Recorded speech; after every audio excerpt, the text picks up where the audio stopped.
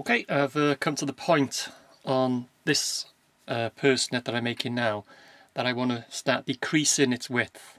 I've got uh, 16 meshes here now and I want to decrease it by 2 so that on the next row I've got 14 meshes and what you do is exactly like you were about to knit a mesh you take up the first mesh but you take up second mesh as well.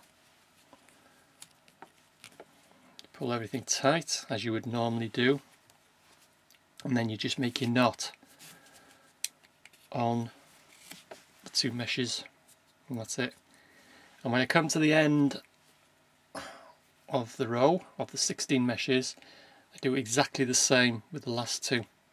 So I've decreased the width of the net now by two so it's gone from 16 meshes to 14 right I've come to the last two meshes now and I need to decrease it by a mesh. So what you do is take up the first mesh as you would normally do and you take up last mesh as well.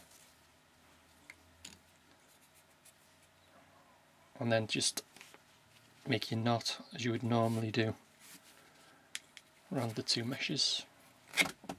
And that's it.